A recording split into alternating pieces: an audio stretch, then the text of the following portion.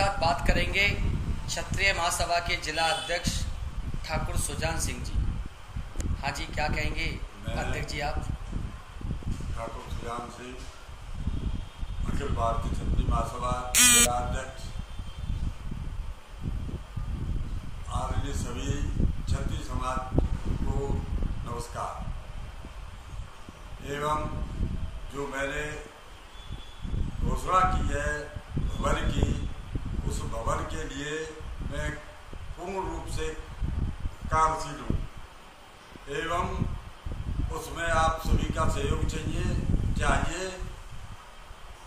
सहयोग के अलावा सभी जिलाध्यक्ष हैं, इसमें यह न सोचे कि केवल यही अकेले बने रहे। मैं सबसे प्रार्थना करता हूँ, निवेदन करता हूँ कि इसमें, इस भवन के लिए जगह का जगह तलाशने की सभी छत्री बंधु प्रयास करें।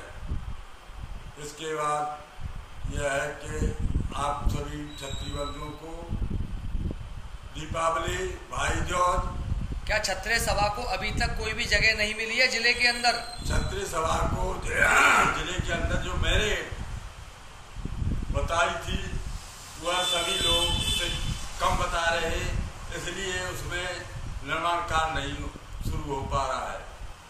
अब मेरी सभी से प्रार्थना है निवेदन है कि कोई बड़ी जगह अच्छी जगह देख करके निर्माण कार्य शुरू कराने के लिए तत्पर रहे।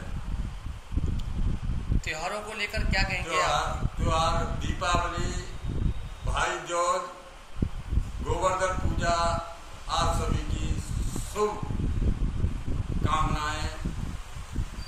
हमारे साथ बात करने के लिए थे सुजान सिंह जी, जो कि मथुरा क्षत्रिय महासभा के जिला अध्यक्ष हैं। सुजान सिंह जी ने बताया है कि क्षत्रिय सभा सक्रिय हो जाए। हर व्यक्ति जिला अध्यक्ष है, चाहे छोटा कार्यकर्ता हो, चाहे बड़ा कार्यकर्ता हो, जो सुजान सिंह के द्वारा, जिला अध्यक्ष कमेटी के द्वारा घोषणा करी गई थी, मथुरा में क्षत्रिय महासभा का विशाल भवन बनाने की।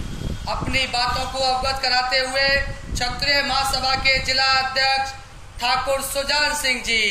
आप सब देख रहे हैं राहुल शर्मा की खबर, प्रदेश खबर चैनल के माध्यम से मथुरा लाइव न्यूज़। क्षत्रिय महासभा के जिला अध्यक्ष ठाकुर सुजान सिंह मीडिया से रूबरू होते हुए।